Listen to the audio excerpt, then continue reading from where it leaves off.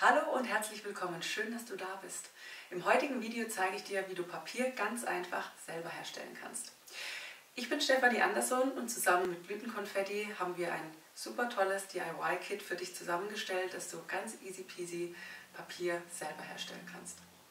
Was brauchst du dazu? Im Kit enthalten ist zum einen der Schöpfrahmen, Zellstoff und das Blütenkonfetti, das haben wir hier. Zusätzlich brauchst du dann noch einmal einen Schwamm. Ich habe jetzt einfach einen Spülschwamm genommen, du kannst auch einen Spüllappen äh, etc. verwenden, das ist egal. Ähm, das ist einfach, um das überschüssige Wasser einmal abzutupfen damit eine Plastikwanne. Ich habe hier einfach so eine Aufbewahrungsbox genommen. Die sollte nicht zu groß, aber auch nicht zu klein sein. Ich habe eine A4-Wanne genommen, damit auch der Rahmen gut reinpasst. Wenn es zu groß ist, dann bekommt man den Zellstoff nicht gut auf ähm, den Schöpfrahmen drauf und dann wird das Papier zu dünn und zu löchrig. Dann habe ich ein Nudelholz. Es geht alternativ natürlich auch eine Weinflasche oder sonstiges. Ein Brett, Handtücher, legt euch da unbedingt ganz viele äh, davon bereit, weil da wird man ordentlich brauchen. Und ein Gefäß, um den Zellstoff zu verkleinern. Da geht ein Eimer, ein Topf etc. Ähm, am besten habt ihr zu Hause auch so einen Zauberstab oder sowas, weil man muss es wirklich nachher klein pürieren. Einen Wäscheständer bräuchtet ihr dann noch zum Aufhängen vom Papier, aber das hat glaube ich jeder. Und dann können wir eigentlich schon loslegen. Im ersten Schritt bereiten wir die Zellstoffmasse vor. Die brauchen wir später, um dann Papier zu schöpfen. Dafür nimmst du die Zellstoffplatten und zerreißt sie in kleine Stücke und gibst sie in ein Gefäß. Das Ganze gießt du mit lauwarmem Wasser auf und lässt es einfach 30 Minuten einweichen. Danach muss das Ganze püriert werden, entweder mit dem Zauberstab oder Thermomix, was du eben da hast. Und danach sehen wir uns wieder. So, die halbe Stunde ist rum und jetzt können wir richtig loslegen. Nachdem ich das Ganze 30 Minuten in lauwarmem Wasser eingeweicht habe, habe ich es danach einmal püriert und dann entsteht hier so eine dicke Masse. Das Ganze nennt sich Pulpe und ist die Basis zum Papierschöpfen. Wir geben jetzt einmal hier ein ordentliches Stück in die Wanne und füllen noch mal ein bisschen Wasser nach, damit wir auch schön schöpfen können. Das machen wir jetzt einmal zusammen und dann starten wir.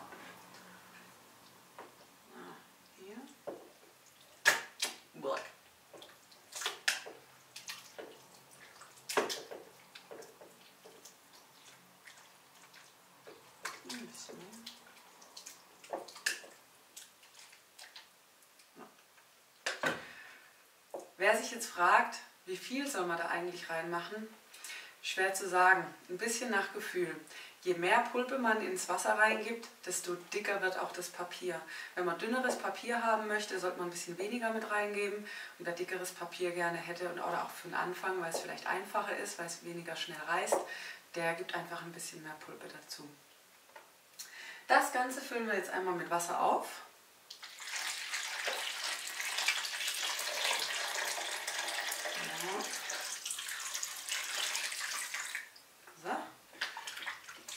Manchen hier einmal schön rum. So, jetzt ist das Ganze absolut nicht mehr dickflüssig, wie es vorher hier ähm, einmal püriert rauskam, sondern wirklich sehr, sehr, uh, sehr, sehr flüssig. Ähm, jetzt nehmen wir den Schöpfrahmen. Wenn man ihn so rumnimmt, bekommt man so richtig schöne ausgefranste Kanten. Andersrum würde auch gehen, aber da bekommt man es nicht mehr so einfach raus. Also ich mache es jetzt einmal so rum. Ich mag die abgefransten Kanten auch super gerne. Ähm, wir tauchen den einmal senkrecht ein, rütteln ein bisschen, damit auch wirklich sich die Pulpe schön verteilt und holen ihn raus. So, jetzt einmal, Spannung steigt, eintauchen, runterfahren, rütteln ja, ist ein bisschen viel Pulver, glaube ich sogar noch. Und hochheben. Jetzt habe ich hier den Finger drin gehabt, das war natürlich nichts. Und hier ist wirklich ein bisschen zu viel. So, also mache ich das Ganze nochmal. Es braucht Fingerspitzengefühl, Geschick und das ist wie beim Pfannkuchen, der erste wird meistens nichts. Aber keine Angst, der kommt mal rein, man muss es einfach ein bisschen üben und dann geht das schon. So, einmal hier so ein bisschen drüber hoch. Okay. Sehr schön, das sieht doch ganz gut aus. Ich jetzt hier vom Rand ein bisschen was weg. Das ist nämlich zu dick geworden, aber das macht nichts. So.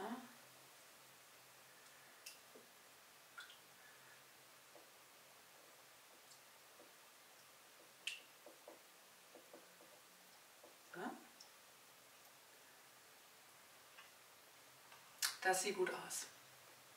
Abtropfen lassen. Und jetzt stürzen wir das Ganze aufs Handtuch. Ja, drückt mir die Daumen. Einfach schnell umstürzen. Schwupps. Jetzt kommt der Schwamm ins Spiel. Jetzt tupfen wir hier einfach ein bisschen überschüssiges Wasser ab, drücken ganz leicht das auch gerne hier direkt wieder reinfüllen.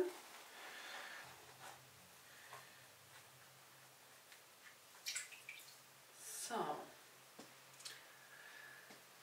Und jetzt, die Stunde der Wahrheit, müssen wir hier leicht rütteln. Und zwar immer so ein bisschen von links nach rechts, bis sich der Rahmen von alleine von dem Papier ablöst.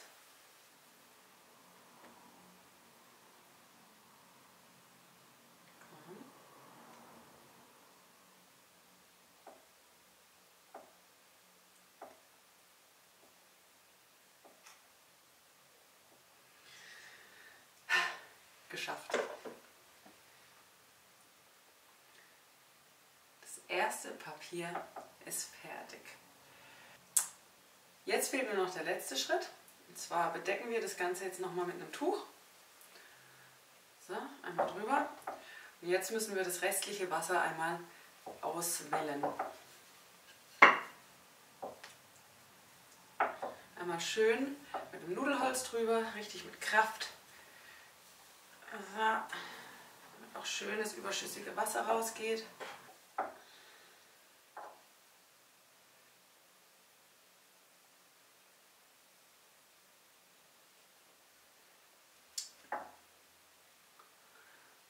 Und das Ganze müsst ihr jetzt einmal aufhängen. So, das ist unser erstes Papier. Trocknen dauert zwischen ein und vier Tage, je nachdem welches Wetter ist, wie hoch die Luftfeuchtigkeit ist und so weiter. Ähm, das hängt einmal über den Wäscheständer und wenn es trocken ist, müsst ihr es einmal bügeln.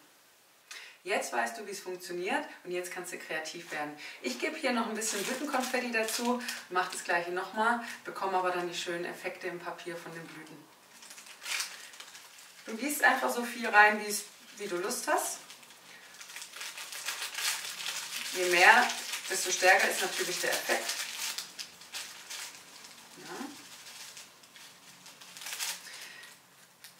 Misch die Pulpe nochmal mit der Hand so ein bisschen auf, rühr ein bisschen rum, die muss an der Oberfläche schwimmen, sonst ah, wird das mit dem Schöpfen nicht so gut. Die setzt sich nämlich gern ab. Und jetzt das gleiche Spiel von vorne. Senkrecht eintauchen, einmal unten drunter fahren, rütteln,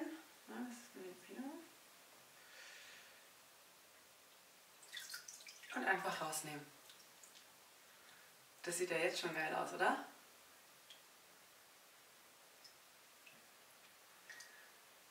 Ein bisschen abtropfen. Da kann man auch gern schon jetzt mit dem Schwamm drunter gehen.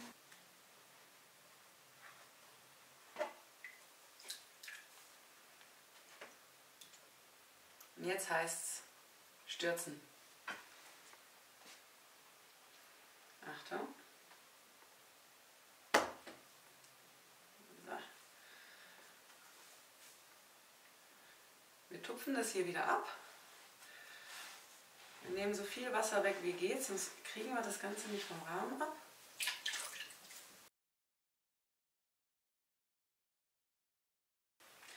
Jetzt wieder sanft rütteln und vorsichtig den Rahmen abziehen.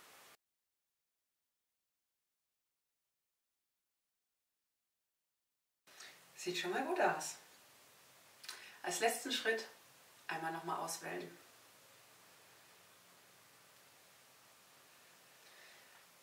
Wenn du merkst, das Handtuch ist schon klatschnass, dann immer wieder wechseln. Äh, leg dir auf jeden Fall genug Handtücher bereit, weil die saugen sich sehr schnell voll.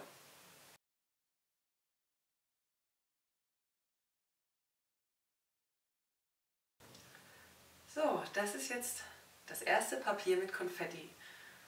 Sieht super aus, oder? Als letztes muss dein Papier jetzt noch trocknen und gebügelt werden. Und dann ist es fertig.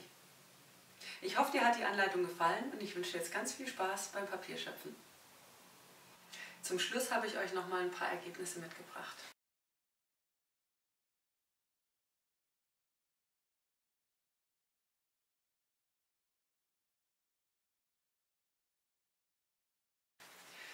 Hier sieht man ganz gut den Unterschied zwischen ein bisschen dünnerem und dickerem Papier. Bei dem dünnen Papier scheint es wirklich so ein bisschen durch, auch vor allem das Konfetti sieht man toll.